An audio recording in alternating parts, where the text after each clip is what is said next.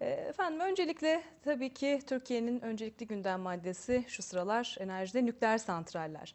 Nükleer santraller demişken e, yine sıcak konudan başlayacak olursak Japonya'daki yaşanan felaketi e, dünya gözlerini çevirmiş durumda. E, bu noktada Türkiye'de bir nükleer santral kurulması için harekete geçen bir ülke olarak ne gibi endişeler taşıyor? Çünkü güvenlik konusu çok tartışılmaya başlandı.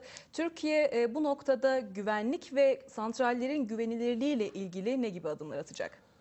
Tabii e, böyle bir afete, Japonya'daki afete, e, sıra dışı afete hiçbir ülkenin kayıtsız kalması düşünülemez.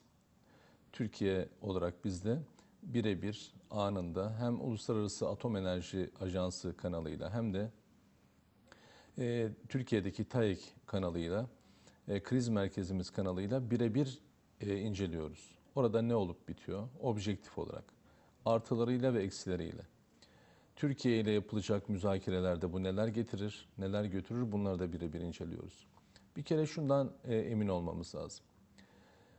Dünya nükleer güç santrallarının yapımı ile alakalı hususta bundan 35-40 yıl önceki santrallara göre çok önemli bir konsept değişikliğine gitti. Bir yapı değişikliğine gitti. Elektrik üretimi için harcanan para 100 liraysa güvenlik sistemleri için harcanan para da bir o kadar oldu bizim yaptığımız anlaşmalarda bütün bu fiyatların içerisinde güvenlik sistemleri ile alakalı konu elektrik üretimi kadar yer alıyor. Fakat bu olaydan çıkartacağımız dersler olduğunu yine Türkiye olarak düşünüyoruz. Gerek depremle alakalı hususlar gerekse e, tsunami'nin oradaki oluşturduğu etkileri birebir olduğu gibi görmeye çalışıyoruz. Türkiye kuracağı gerek Akkuyu'da gerekse Sinop'ta kuracağı santralla aslında güvenlik önlemlerini tekrar gözden e, geçirdi. Geçen hafta bildiğiniz gibi Rusya Federasyonu'nda Sayın Medvedev, Sayın Putin ve Sayın Seçin'le görüşmelerimiz oldu. Bir dizi görüşmelerimiz oldu. Hatta Sayın Medvedev'le iki kez görüşmemiz oldu. O görüşmelerimiz sırasında da Sayın Başbakanımız bunu dile getirdi. Bu önemli bir konu bizim için. Halkımızın, vatandaşımızın hassasiyetinin bizim hassasiyetimiz olduğunu biz biliyoruz.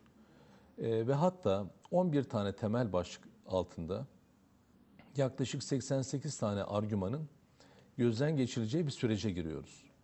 Bunlar içerisinde toplumda çok sıkça tartışılan, işte Ecemiş fay hattı buraya 25 kilometre midir, 100 kilometre midir? Ki bizim elimizdeki veriler tamamen e, 100 kilometre civarında olduğunu söylüyor. 25 kilometrenin nereden çıktığını da henüz anlamış değiliz. E, ama bu manada tekrar proje şirketiyle görüşmelerimizde gözden geçirilebilecek bütün kalemleri tek tek ele alacağız. Bunun zaten bir lisanslama ve izin süreci var. Bu Türkiye'deki kurumlarımız vasıtasıyla ve kuracağımız otorite vasıtasıyla sağlanacak. O yüzden bu konuda tamamen müsterih olmasını isteriz. Kuracağımız santralın, bunu e, kalın çizgilerle altını çizerek söylüyorum. Zaman bunu inşallah e, bütün şeffaflığıyla gösterecek ve e, haklığımız bir kez daha inşallah ortaya çıkmış olacak. Türkiye'nin en sağlam yapısı olacak bu manada. Yani prestijli gökdelenler dahil e, hem deprem hassasiyeti açısından hem de diğer argümanlar açısından. Çünkü biz önemli ve farklı bir iş yaptığımızın farkındayız. Biliyoruz bunu. Nükleer güç santralları dünyada şu anda 442 yerde işletiliyor. 442 ayrı noktada işletiliyor.